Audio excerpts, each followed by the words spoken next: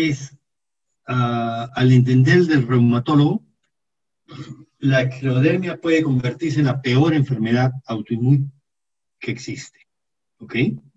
Felizmente no todas evolucionan muy mal, pero hay algunas que evolucionan muy mal. ¿no? Entonces la esclerodermia es el engrosamiento de la piel, esclero es engrosamiento, dermia de la piel. ¿Sí? Hay, este, hay varias, varias, varias características, ¿no? Una es que la piel se endura, ¿no? El endurecimiento de la piel, el empastamiento de la piel es la característica. Eh, puede haber formas localizadas en piel, o sea, solo compromiso en piel, o puede comprometer la piel y además comprometer órganos internos.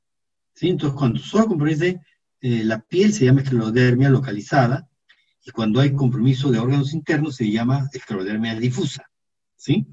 Es una enfermedad, por suerte, es una enfermedad bastante poco frecuente, 20-75 por cada 100.000 personas, ¿sí? Digamos en promedio 50 por 100.000 personas, ¿sí? A diferencia del traumatólogo que es 1%, ¿no? 1 por 100. Este es 50 por 100.000, ¿sí? Ah, hay algunos factores de riesgo que hacen que se produzca esta enfermedad o algún cuadro que está simulando esta enfermedad. Por ejemplo, la exposición al polvo de sílice, el riesgo relativo aumenta 25 veces. Y si es que es una típica silicosis ya, el riesgo relativo aumenta 110 veces. O sea, estas dos condiciones son fuertemente asociadas con el desarrollo de esclerodermia. Otras formas de desarrollo de esclerodermia secundaria, digamos, son algunos tipos de contacto con solventes orgánicos, a veces con formaldehído, a veces con cloruro de vinilo, bleomicina, L-triptofano, también se asocian con desarrollo de esclerodermia, y también hay una esclerodermia en el, en el trabajador que usa estos aparatos que taladran las pistas, la vibración persistente también puede desencadenar esclerodermia en algunos pacientes genéticamente predispuestos. ¿Ok? Como les digo, hay muchos factores implicados, predisponentes o interactuantes para que se produzca la enfermedad, ¿sí? Hay este, los factores genéticos, factores ambientales, hormonales y los cambios psíquicos y estrés. Esto yo lo hubiera puesto, hubiera puesto en primer lugar. En esclerodermia es una enfermedad donde el estrés es un condicionamiento muy, muy, muy serio. ¿sí? Los factores límbicos son, eh, o los factores de estrés emocional son muy fuertemente ligados a la, al desencadenamiento de la enfermedad. ¿sí? Hay producción de autoanticuerpos dentro del mecanismo patogénico, ¿sí? anticuerpo anticentrómetro, antitopoisomerasa, anti-RNA. Eh, este, estos mecanismos van a pasar por una injuria vascular importante, ¿sí? Va a producir hipoxia tisular con bastante frecuencia, al producirse vasoconstricción. Eh, es muy frecuente la asociación de esclerodermia con fenómeno de. El Raynaud, el fenómeno de es una condición en la cual hay tres fases. La primera fase es, arteria, están, miren mis manos, arteria, vena, ¿ok? En la primera fase, la arteria se cierra, la vena está normal, la arteria está cerrada, entonces no llega sangre al tejido y el tejido se pone pálido. Luego de eso, la arteria se dilata y la vena se cierra. Entonces llega sangre que no puede salir, ¿ok? Se deoxigena, se consume el oxígeno y entonces comienza a poner morado, ¿sí? Cianosis. Y luego hay vasodilatación arterial y vasodilatación venosa, y entonces la sangre pasa a alta velocidad y la estructura se pone roja, ¿sí? Entonces, palidez, palidez, este, cianosis y rubor, Dos de esos tres en esa secuencia diagnostican fenómeno de Raynaud, que es bien frecuente en esclerodermia. La enfermedad donde más frecuentemente se asocia Raynaud es esclerodermia.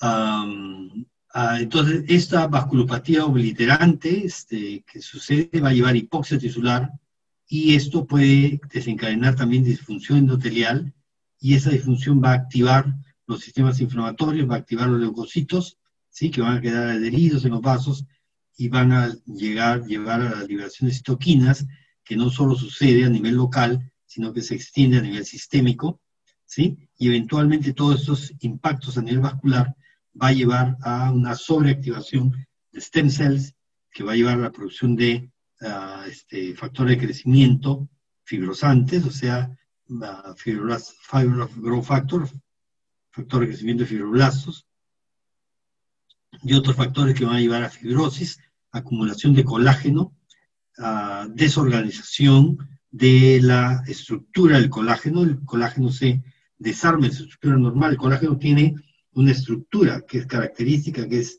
en paralelo, no son fibras en paralelo. En este caso, el esclerodermia hace una desorganización total de la estructura de las, de las fibras colágeno y de la matriz extracelular. ¿sí?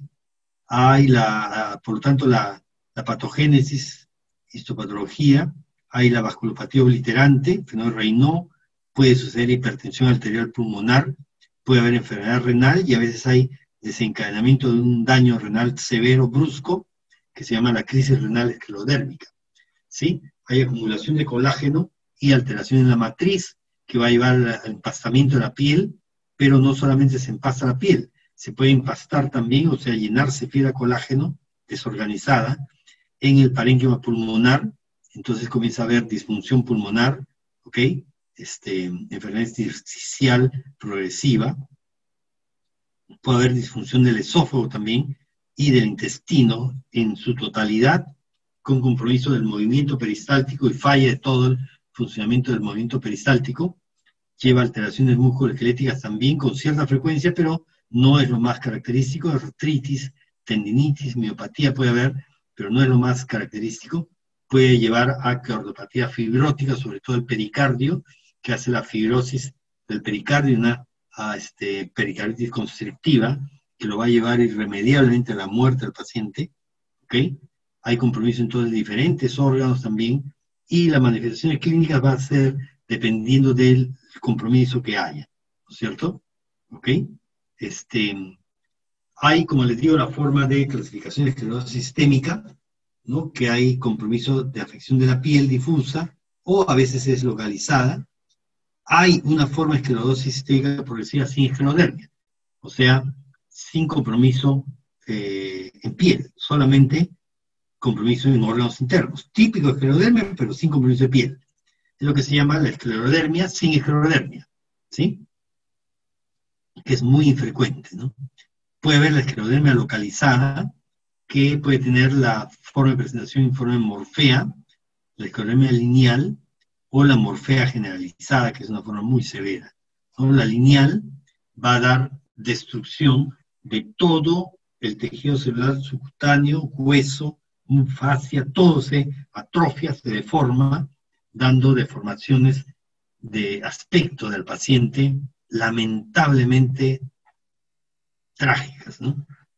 Eh, y esto sucede con cierta frecuencia en la esclerodermia lineal, sucede en niños, con cierta frecuencia puede comprometer la cara y les deforma totalmente la cara, que es una condición lamentable, muy lamentable. ¿Sí? Los padres han viajado en realidad por todas partes del mundo y en ninguna parte han encontrado salida. Hay los, los síndromes que parecen esclerodermia, que ya dijimos asociados con diferentes este, productos químicos usualmente, polvo de silicona, solventes orgánicos, tricloretileno, tricloretano, benceno, sileno, clorometileno, tolueno, percloretileno, metafenilenamida. Este, por eso es que uno siempre tiene que buscar algún factor desencadenante cuando tiene esclerodermia, porque puede ser una forma de síndrome esclerodermiforme, ¿no? No ser esclerodermia exactamente, o sea, el autoinmune. ¿no? Claro que eso también tiene un fondo autoinmune, ¿no? Este, y los síndromes dermiformes propiamente dichos, el aceite colza adulterado, este, que usan aceite de avión, ¿no? el uso de bleomicina, clorovinilo, el triptofano, pentazocina puede dar un cuadro también eh, de esclerodermia, y vapor de resina epoxi en la preparación de plásticos, pues uno tiene que interrogar mucho si es que hay ingesta en algún momento contacto con estos productos, frecuentemente en las fábricas de preparación de plásticos, ¿sí? que la gente tiene contacto con aerosoles de los diferentes compuestos químicos. ¿no?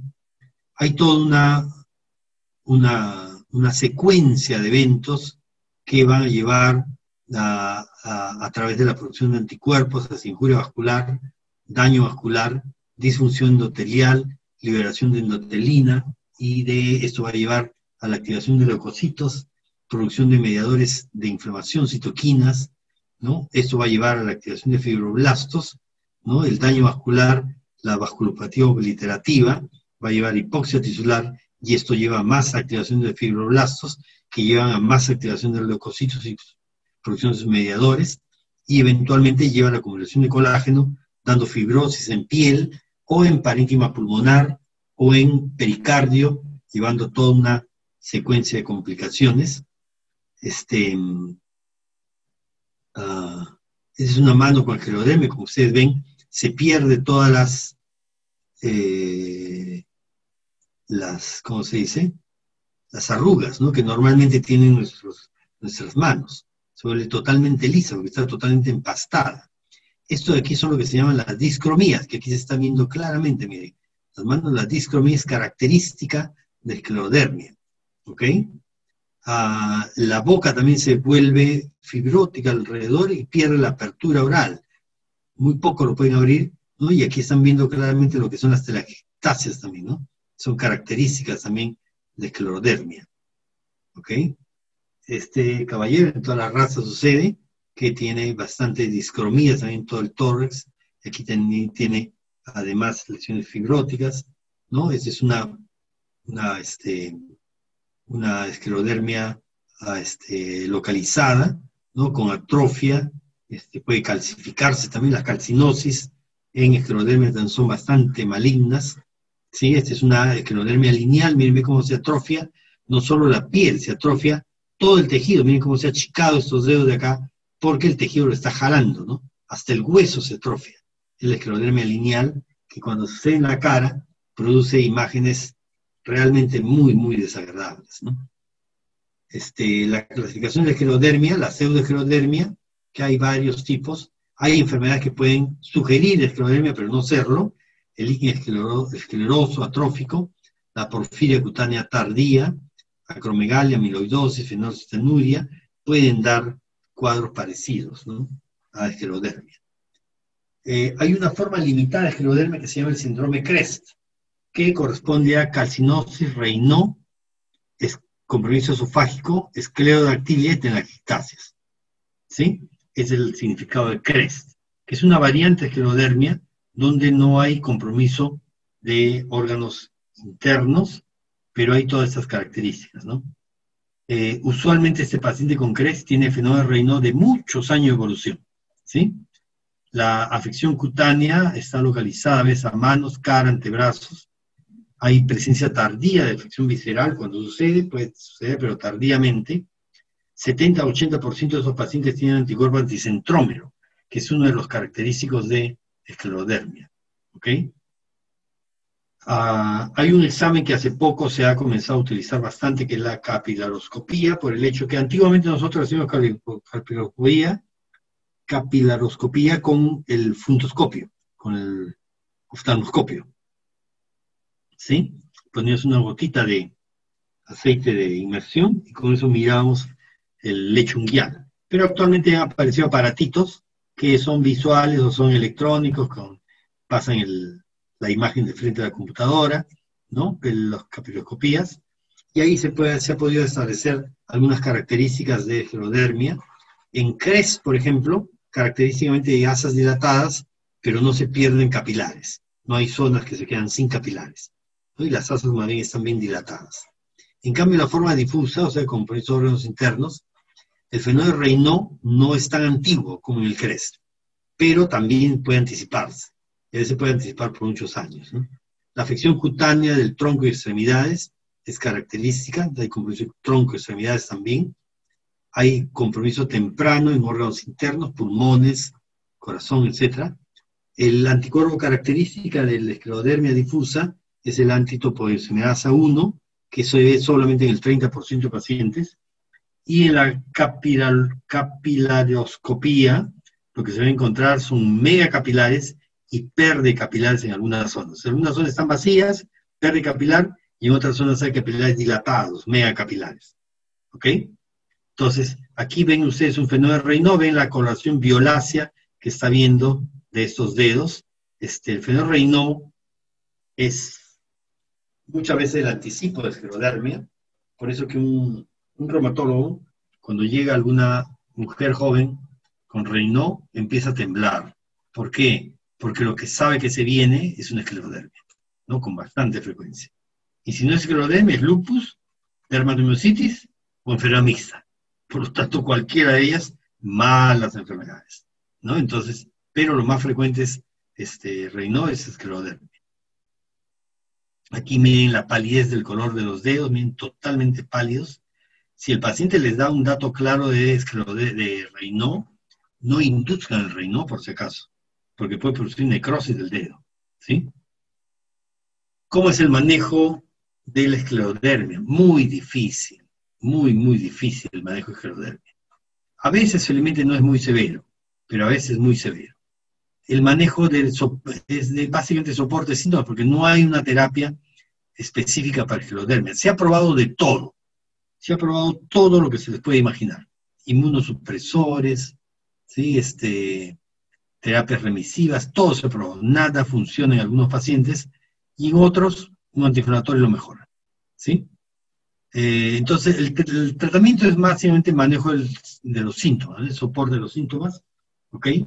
Si el paciente se presenta en una fase inicial, lo que se llama la fase hematosa, con las manos hinchadas, lo que se llama el puffy hand, ¿no es cierto? Un poquito de corticoides puede ayudar, pero eso no cambia el curso que va a tener la enfermedad, ¿sí? Se ha usado con cierta frecuencia cuprimina, el de penicilamina, este, que es en realidad lo que más se usa en esclerodermia, que puede funcionar en la forma de compromiso dérmico, a veces en la forma de compromiso pulmonar también, ¿sí? Sin embargo, hay pacientes que no responden. Cuprimina de, de no tenemos en Perú, tendría que importarse. Antiguamente lo importábamos para el reumatoidea y lo usamos esclerodermia también, pero este, hay pacientes que hacen toxicidad por cuprimine, por depensilamina, y es complicado, ¿no?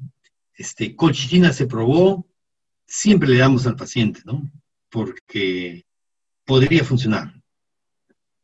No hay evidencia que funcione, pero como podría funcionar, se le da. Es un medicamento barato, no hay casi toxicidad, entonces se usa. Se ha usado todos los inmunosupresores, se ha usado metrotexate, ciclofamida, azatioprina, uh, tacrolimus, uh, ciclosporina, se ha usado de todo. en realidad usamos de todo.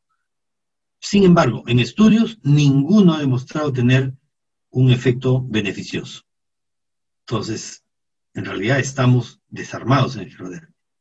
Interferón gamma se ha usado tratando de bloquear al este, fibroblasto también, pero tampoco no se ha visto un resultado muy significativo. En todo caso, lo que mejor da resultado son las terapias mente-cuerpo. Lamentablemente a ustedes no les enseñaron las terapias que no son farmacológicas, les enseñaron solo terapias farmacológicas. Pero las terapias mente-cuerpo son terapias muy interesantes que en mi experiencia personal es lo que mejor funciona para esclerodermia. Tratar de entrar, acuérdense que todas las enfermedades autoinmunes tienen un componente límbico ah, importante.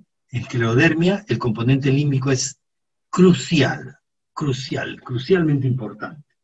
¿Ok? Entonces, desenredar ese embrollo en el que se ha metido emocionalmente el paciente es la parte más importante del manejo en mi práctica privada, en mi práctica hospitalaria, ¿sí? La principal tratamiento de los pacientes es terapia mente-cuerpo, ¿ok? Este, cinco minutitos, les cuento una experiencia solo para que se den cuenta de la implicancia de lo que tiene la parte emocional.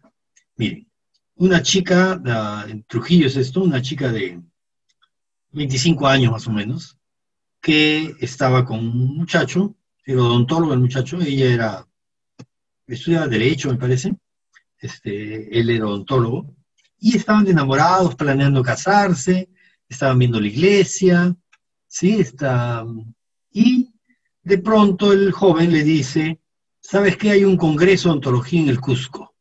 Entonces voy a viajar al congreso, espérame, voy a estar 10 días allá y me regreso. ¿Ok? Ya bestial, muy bien, la chica se despide, todo y chao. De pronto, unos días después, le llega al Facebook, le llega una foto de él casándose en el Cusco con otra chica. La chica ve eso, casi se desmaya. Una foto de su novio que se iba a casar en Trujillo, que se estaba casando en el Cusco con otra persona.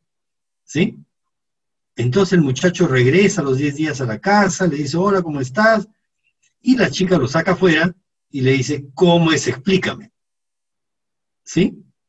Y el muchacho le dice, bueno, me descubriste, mira, en realidad, mm, tú no eres para mí, tú eres muy poca cosa, yo no, no puedo estar con una chica así, tú no, no, no significas nada para mí, era una diversión, es, muy divertida, ha sido un bonito tiempo, pero nada que ver, no es conmigo. Así que chao, me descubriste, chao, chao.